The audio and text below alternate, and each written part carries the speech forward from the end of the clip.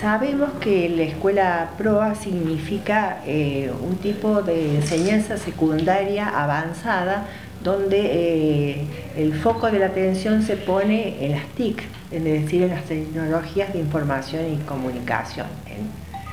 Bueno, eh, la escuela PROA en sí es una modalidad donde la provincia, por ejemplo, implementa también, siguiendo la educación, tutorías de las materias que van, por ejemplo, desde física a historia. Esto hace eh, un nuevo, una nueva forma de diseñar la escuela secundaria.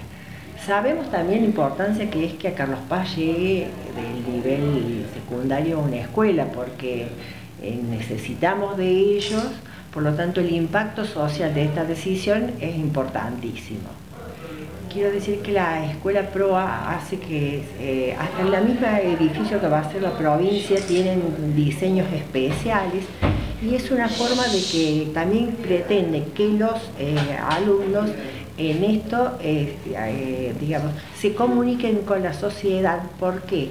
Porque sabemos que cómo ha cambiado las maneras de comunicarnos y cómo ha cambiado la manera de recibir información.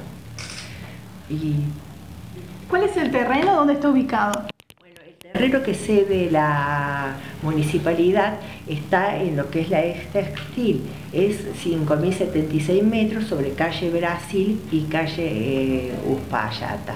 Allí va a estar eh, situada y luego eh, tanto la construcción del edificio como la forma, por supuesto, el sistema educativo, es la provincia la que lo determina.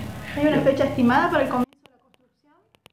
Eh, fecha estimada, eso lo decide la provincia. Nosotros lo que sí eh, hicimos primera lectura, después viene audiencia pública y segunda, donde se cede a la provincia el terreno porque es una de las, eh, digamos, de lo que solicita la, provincia es que el municipio dé el terreno. Quiero decir que, porque no lo mencioné antes, que el título va a ser bachiller en desarrollo de software. ¿Hay algún tiempo estimado por el cual se cede el, terreno? Bueno, el tiempo estimado de cesión del terreno puede estar dentro de un mes, porque es primera lectura que ya hicimos, la audiencia pública y después la segunda Me lectura. A, durante cuánto tiempo se cede el terreno?